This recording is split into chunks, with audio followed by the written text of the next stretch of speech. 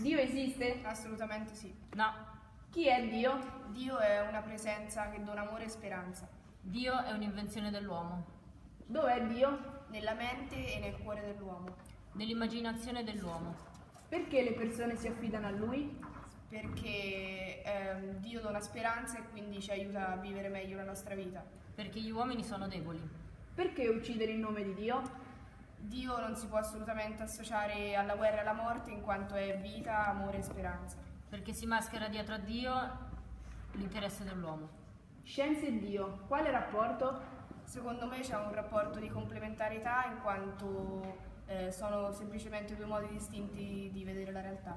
Non c'è nessun rapporto, Dio non c'è, quindi solo la scienza dà le vere risposte. Cosa c'è dopo la morte? Un immergersi nell'amore immenso di Dio. Nessuno lo sa, forse il nulla, Hai mai dubbi sulla tua posizione? Non ne ho mai avuti e mai ne avrò. mai avuti. Cosa vorresti dire ad un ateo o a un credente? Che Dio, essendo, essendo nostro Padre, non può essere assolutamente rinnegato. Come dimostri l'esistenza di Dio?